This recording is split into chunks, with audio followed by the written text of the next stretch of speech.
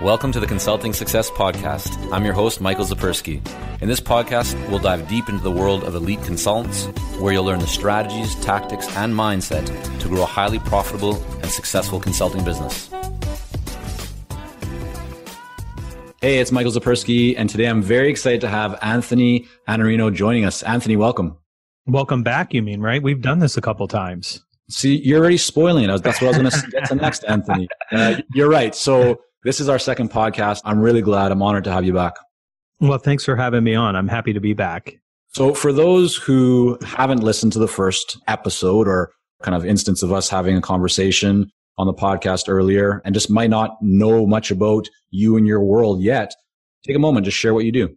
I'm a speaker and I'm a coach and a consultant and a business owner and an entrepreneur. And I would probably sum it up by saying a teacher but I'm also a writer. So I've written three books in the last three years and I've kept a blog at thesalesblog.com for now nine years where I published every day minus 13 days when I went to Tibet in 2010, only because I didn't think I was going to have Wi-Fi. But it turns out Wi-Fi, even in Tibet, because of China Mobile is exceptionally good. And I could have done it from there, but I didn't know that when I left. So that's what I do. Anthony, that's no excuse. 13 days. Come on. It's uh... 13 days. I could clean that up easy. well, you know, it's interesting when you just kind of, the way you describe yourself, one thing really resonated with me there for a moment when you said that you call yourself or describe yourself as a teacher. I've felt the same way over the years. Like I never would have thought that I would describe myself as a teacher. And I still don't maybe outwardly, but inwardly. What I've noticed about myself is that's really where I get the most joy is when I'm helping and working with others many years ago, my mother said to me, she's like, you should be a teacher. You'd be really good at that. And I was like, no, no, I don't want to teach. I want to make money. I want to build businesses. Right. But I've just like realized over the last few years at the core, that's really what resonates with me the most. And that's where my passion is, is teaching. So just nice to hear you say that. If you're a leader and if you're a consultant, if you're a writer, what you're engaged in is teaching. Mm-hmm. I mean, that is what you're engaged in at some level, even if it's just teaching someone to have an awareness of something that they're unaware of, a problem or a deficiency or an opportunity. So yeah, I think a teacher is a good word. Yeah. All right. So when you and I first spoke or you came on the podcast here several years ago, you already had a, a very successful staffing and recruitment business. You were well established as a sales coach and a consultant. But the reason I wanted to really have you back on the show is because over the last few years, I've watched your brand grow significantly. And I don't know, you know, numbers wise what that exactly means, but I just, I see you a lot more than I did before. And it just seems like your brand has been adopted and accepted. And there's a lot more going on. What happened, Anthony? It's an interesting thing. It's an interesting question. And I've thought about this because you think something like, well, when this event happens and I get 50,000 views on the blog a month, then everything's really going to start happening. I mean, it's better, but there's no real change in your day to day life and it, just mm-hmm. continues to go on. And then you think, well, when the first book comes out, that's going to be the launching point. And the first book did great. It's USA Today bestseller and we sold 12,000 copies the first week. And that's a, a huge accomplishment. I worked really hard to sell that many books, but I mean, it adds, but your life doesn't change dramatically. And then you think, well, the second book 10 months later, two books. Who does that? That's hard to do. Mm-hmm. And uh, it got a lot of attention and you don't really notice that the perception changes. And, you know, the third book came out November 6th, so a few months ago. And you think, well, this is going to be it. And in a lot of ways, that book did really, really well because I don't think people expected this book from me. But then when they read it, they were again surprised like they were in the last couple books as to what's inside the book and you think, well, that's going to do it. And there really isn't one thing. I think that what happens is the more you work at it, the more people know who you are. And the more you try to just go into the world and create value for other people by sharing ideas with them and you're not charging a toll for them to get the ideas. They can come out and read your blog and watch your YouTube videos and these things. More people start to become aware of you and then more people start to share things and you don't know that it's happening. And I didn't know it was happening, but I have hundreds of people that tell me, oh yeah, my sales manager uses your Sunday newsletter for his Monday morning meeting. Well, I don't know that. Mm-hmm. And I don't know that sales trainers use my YouTube videos to train salespeople, but they're getting introduced to me by other people. because the content is there and it's the right ideas for the right time for those people anyway. And it gets shared. And so you start to have more and more awareness of who you are and what you do. And I also think that I'm a different voice than many in my particular world because the sales world where I live, people are really hyped up about digital. They're really hyped up about social selling. They're really hyped up about LinkedIn.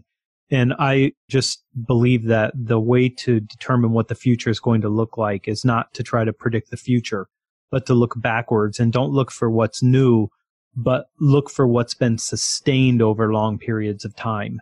And I continue to argue that digital is not interesting for a whole bunch of reasons. One, the phone is an interesting piece of equipment, but it didn't make anybody a better salesperson. It made them maybe more efficient, but it didn't make them better. And the things that make somebody a trusted advisor are the same things that made someone a trusted advisor for the Pharaoh or for the king or for Caesar.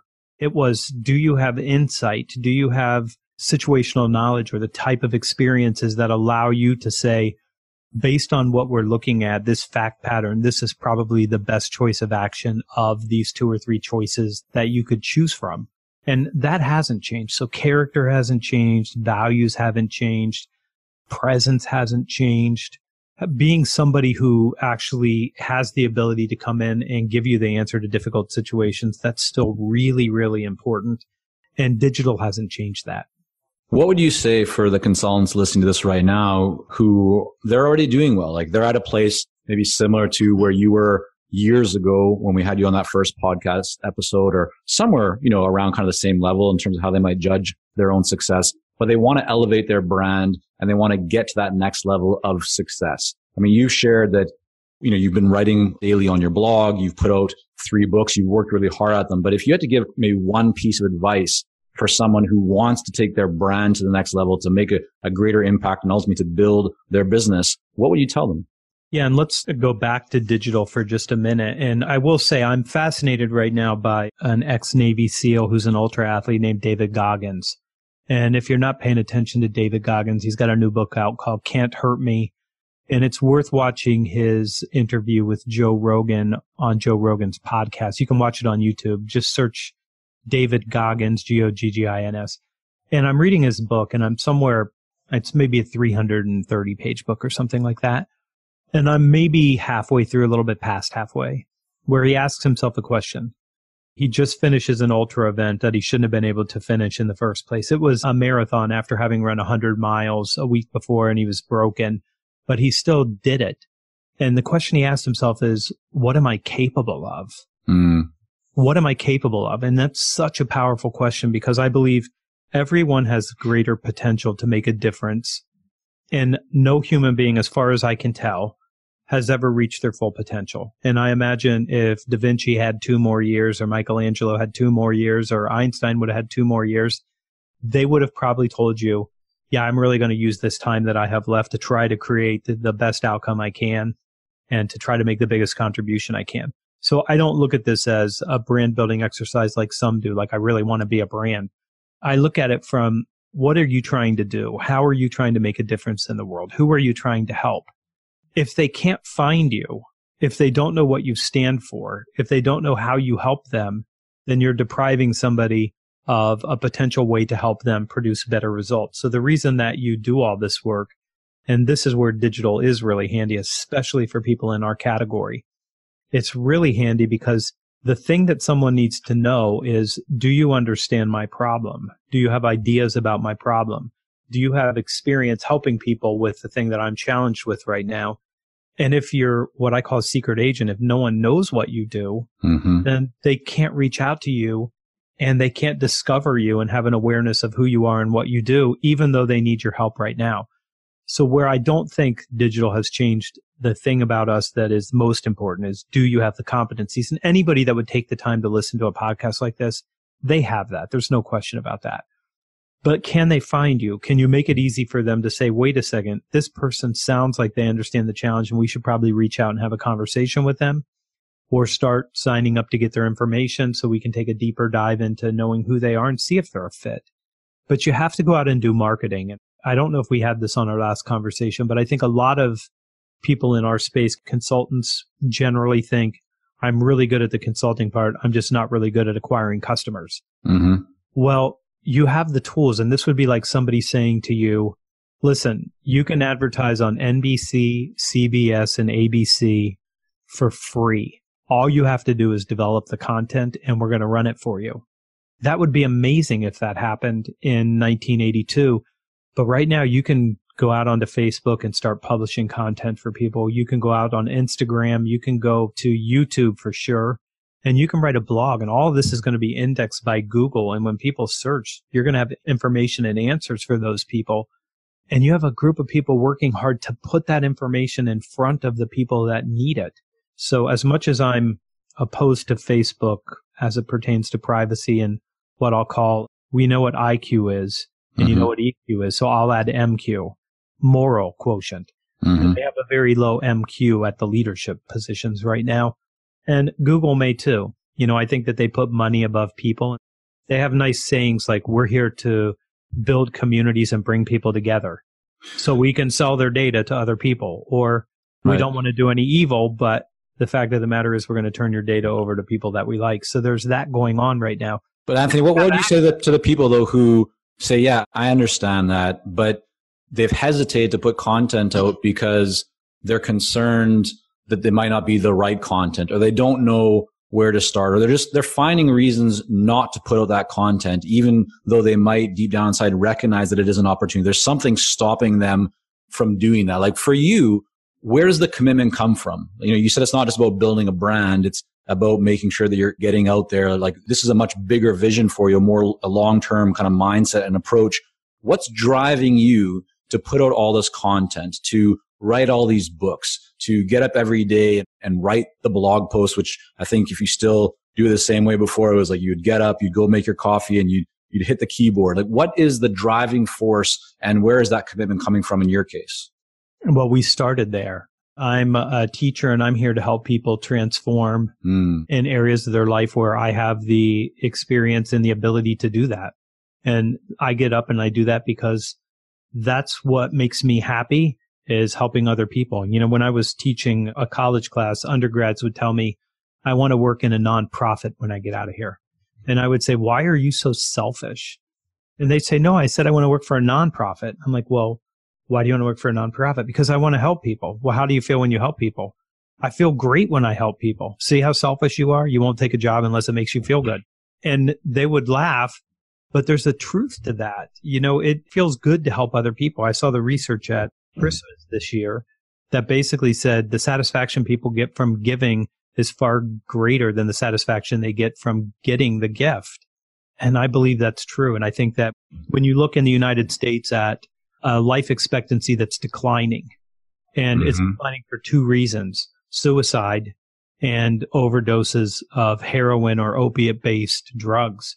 That's because people don't have purpose and meaning and they think somehow that that purpose and meaning is external when in fact it's a decision you make for yourself. Where do you want to invest your time? Where do you want to invest your energy? Where do you want to invest your psychic energy and your emotional energy? Where do you want to do that work? And if you don't have that purpose and meaning, then I don't think that you're really motivated because the word motivate means you have a motive. So what is that motive? Mine is to help other people produce better results and it's what I know my calling is. So that's where I spend my time working because it's where I do the work that helps others and makes me fulfilled. So I would tell you there's only one thing that stops you from doing this work. Well, there's two maybe. One, you don't have clarity of purpose. The second is fear. Mm-hmm. What if it's the wrong content? What if somebody judges me? What if someone doesn't hire me because they didn't like my take on this? What if somebody criticizes me? And there's a, all the what ifs, but it's always fear that's behind the reason to not go all in and do something like that. It's some fear that's stopping them. And I can promise you, when you have enough attention, you will have people that don't like you and will say something. I have a, my favorite review on Eat Their Lunch says nothing new here. Same old B2B fluff supported by people who want you to know how good of a salesperson they are. Something like that. Mm-hmm. And I love it because the book has all kinds of things that aren't new but something about me makes this person feel something about themselves. And what they feel about themselves is not good. And I bring that out in them. I don't mean to bring it out in them. It's not my intention to bring it out in them, but there's nothing I can do about it. You're going to bring that out in somebody. Somebody's going to say, no, that's exactly the wrong idea. They should be doing it exactly the other way. And maybe that's their experience and maybe that's their truth. But you can't let that stop you from living your truth and sharing your truth with people who need it because the people who need it are going to find you and they are going to engage with you and you are going to help them. Yeah, it's a great message. Thanks for sharing that, Anthony. You know, you talked about this idea of being a trusted advisor and being able to really provide ideas or counsel to, to those that you want to serve. Where do you go to, to gain your insights or what do you suggest that a consultant who wants to stay at the top of their game, like what should they be doing on a regular basis to ensure that they can like stay as sharp as possible and really have the opportunity to play that role of a trusted advisor? While we work with a lot of seasoned and experienced consultants here at Consulting Success, I'm often contacted by new early stage consultants. Invariably, the question I'm asked is what are the steps I should take to become a successful consultant and grow my consulting business to my first six figures per year? Well, I'm excited to announce that we've opened the doors for our Momentum program. This is our most popular program for early stage consultants, and it has helped almost 1,000 consultants to start, run, and grow successful consulting businesses. It gives you the step by step plan to help you with your messaging, your fees, and pricing strategies, how to win more proposals, how to go to market more effectively, developing a marketing system to generate leads consistently, and so much more. And right now, until September the 19th, you can sign up for Momentum and get 50% off the regular price by going to consultingsuccess.com forward slash audio. That's consultingsuccess.com forward slash audio, A U D I O. Only 100 spots are available to join Momentum and get 50% off. This deal is only available until September the 19th or until all 100 spots are gone. We won't be opening up new spots in this program for several months, so don't wait. Go to consultingsuccess.com forward slash audio. That's consultingsuccess.com forward slash audio. A U D I O.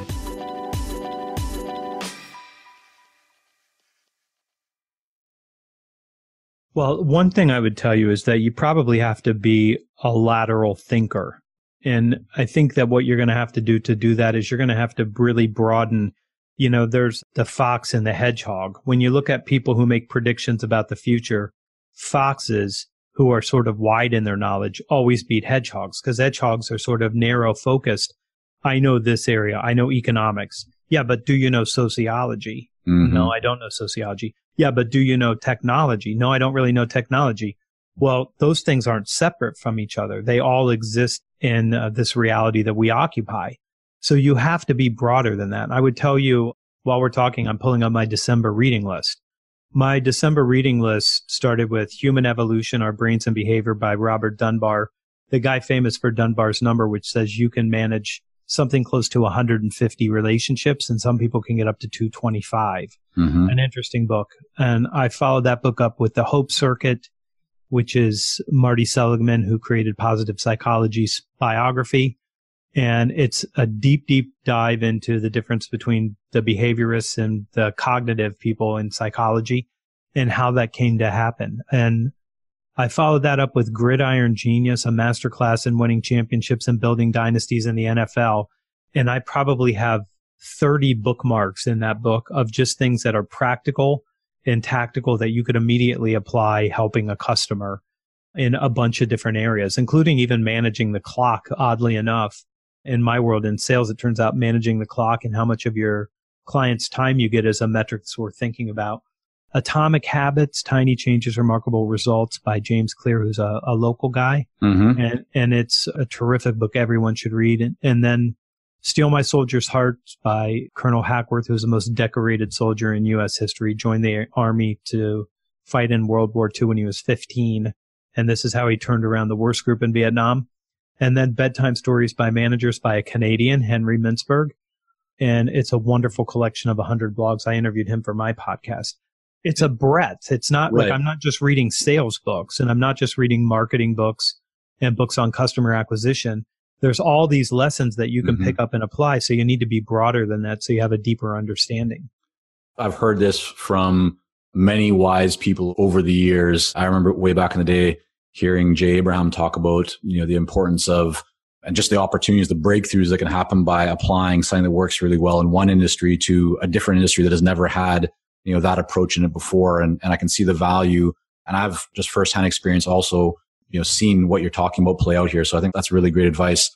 We're talking about a lot of books. Like you just gave a, a big reading list for people, but I want to talk about your books for just a moment. You have three best selling books. The first is the only sales guide you'll ever need. The second, the lost art of closing. And the third that recently came out which is eat their lunch. Now, writing a book is one thing, but turning that book into a successful tool or just a tool that helps you to create a bigger platform or reach your goals is a whole other thing. You mentioned that with one of your books, right? You got 12,000 plus copies sold in the first week or so. In your experience of publishing and promoting and launching these three books, what is, you know, maybe the, biggest one or two things that people should keep in mind if they want to have a successful book launch? Not just writing the book, but actually making sure that the book reaches enough of the right kinds of people. You're going to have to work really hard for that to happen. So the first thing that I would tell you is this is a team sport. It's a hundred percent a team sport. Yeah, elaborate on that. What do you mean? If you don't have 50 friends that are in the community that you have willing to email their list on your behalf, and willing to read the book for you and give you thoughts and write a review for you and share it with their peers, you're not going to be able to do very well unless you mm-hmm. already have a really big brand. But the difficulty is, can you reach enough people? So you really want to start making friends long before you publish a book. The second thing you have to know is almost no one reads a book. So I know so many people who are afraid of like, well, I have my whole framework in here and this is my IP. Okay. It's copywritten number one, trademark it if you want to. But if people can't see something, they're not going to buy it. So they have to be able to see enough of it to know what that is. And where I did the right thing, and I would love to tell you I'm, I'm prescient. I do like to study the future, but it, this is just luck. Mm-hmm. I found my way into a group very early on and I decided not to publish the book for a long time while I built a big enough audience to sell a book to. So I worked on just building the audience, continuing to nurture them, building a newsletter list, and then building all the friends so I could do that. A lot of the reason people get this backwards is they think, well, when I have the book, then I'll have the audience. No, first you have the audience and then you have the book. That's what's changed. The world is now so fragmented. There's never going to be another Led Zeppelin. There's never going to be another ACDC. There's never going to be another pick your favorite television show from 10 years or 15 years ago. There's probably never going to be another Seinfeld because we're not all confined to three channels or three music channels. There's so much fragmentation out there. You have to work really, really hard to overcome that and build a community. But if you have friends and they're willing to share you with their community and you're willing to share them with your community, then you start to get this synergy that you can't get on your own. You need other people that are willing to help you. Where does this mindset come from, Anthony? Because I've seen more and more people, not a lot, but just people who are really at, the top of their game. And so I'm very interested in like where this mindset comes from for you and, and uh, even the ability, I think with so many people who are trying to have instant gratification and short-term thinking, want the result right now, you know, you're doing the exact opposite. You're front loading, you're depositing as much as you possibly can into like that relationship and value bank before you try and take a withdrawal. Is this just from your own experience? Is it, you know, reading and studying? Where and how did you get to the point where you feel comfortable and confident with putting out a lot of value, investing a lot in relationships before you try and transact, which is, I think, what, you know, the opposite of what a lot of people do. I've spent a lot of time working on eliminating debilitating infections of the mind, like scarcity. Mm. The reason that I don't want to share my audience with you is that they might like you better than me and then they're going to hire you and not me. That's scarcity thinking the fact of the matter is the fact that you pointed to me and you said Anthony's worth bringing on. First off, that's a gift to me. So thank you. But it also means I'm the trusted advisor because I'm telling you this person is worth paying attention to. So I'm now sitting in that spot. But I have an abundance mindset and I do a conference with three of my friends and I was on the book launch. We did an event in Chicago and one of the first questions asked me was, why do you promote Jeb Blount and Mike Weinberg and Mark Hunter's work? And they're your competitors. I mean, you actually do the same thing in the same world with the same kind of companies. And I said, because there's enough to go around. There's not a scarcity. There's an abundance. And if you believe that there's scarcity, the world will look like scarcity for you for sure. But if you believe that the world is abundance and you go out and try to make a difference for other people, even people, you know, these guys do the same thing I do. There's no question about it. We trade each other work all the time. I can't take the state. Can you take it? And we trade work back and forth because there is an abundance out there, but only for the people that believe that and act as if. So you have to act as if there is abundance. There's not scarcity. And if there's scarcity, then go back to where we were a few minutes ago and decide, are you putting enough out that you should expect people to know who you are and come to you. Mm. And that's a decision. Yeah, love it. Anthony, clearly you're a sales expert. You know, you've written the book. I'd be remiss if I didn't ask you maybe just a couple of real quick specific sales questions. Are you okay with that?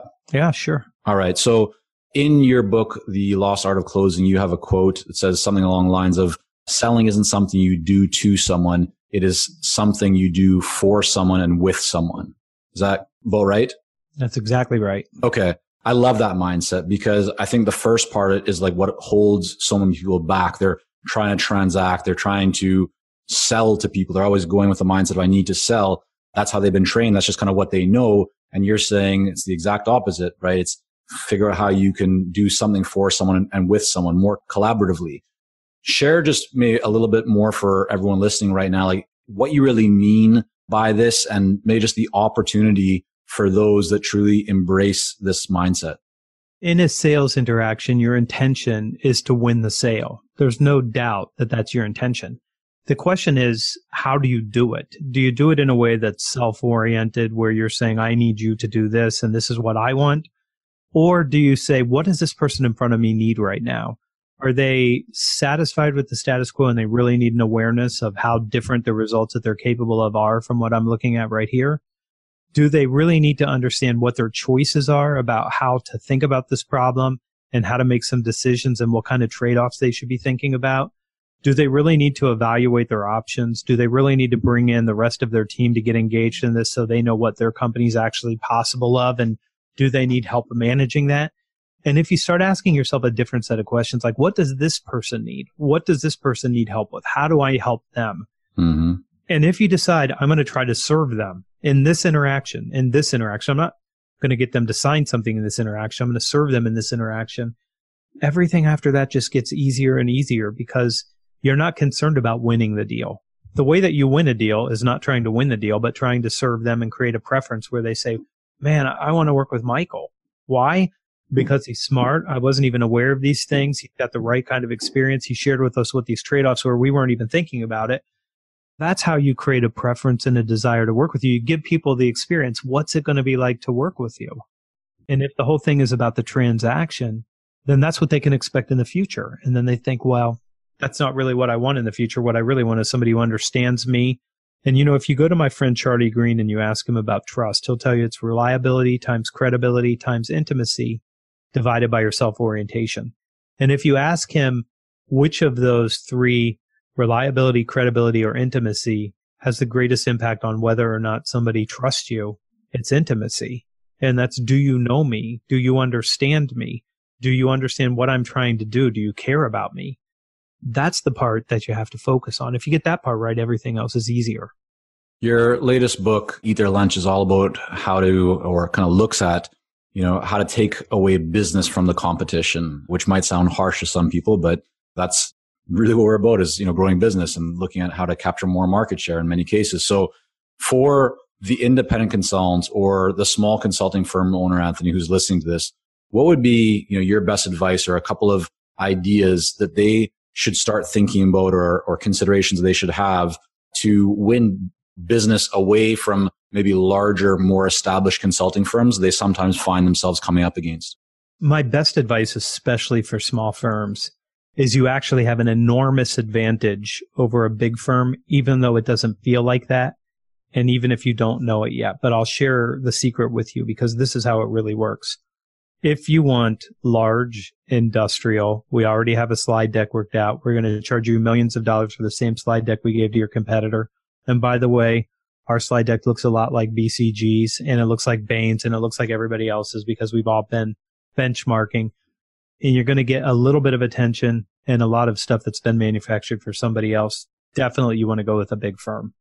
But if you want high trust, high value, high caring, the reason that people choose a boutique to do this work is because it's somebody who's going to be intimate, who's going to understand your needs, who's going to be able to work with your team, and is going to be here to help you actually execute this work and generate the better outcomes that you're looking for. And that's your advantage.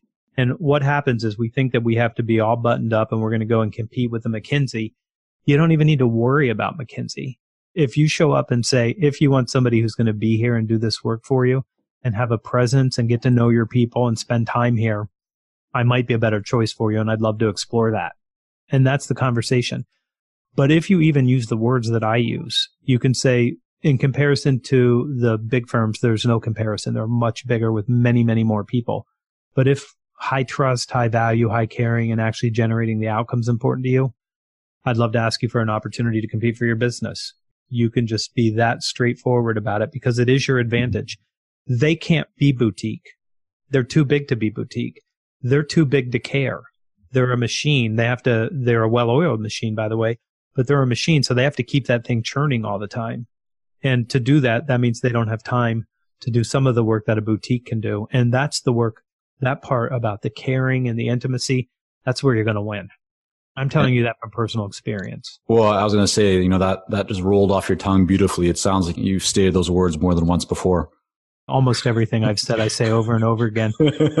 Listen, when we punish my children, I don't take their car away from them. I just say, we're just going to sit and talk until we resolve this. And they're like, no, please just take my car.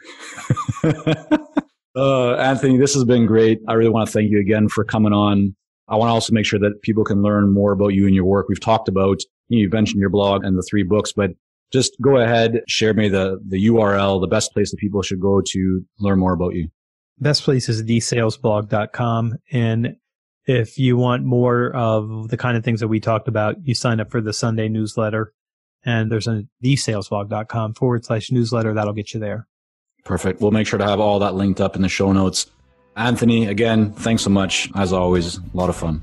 Thanks for having me.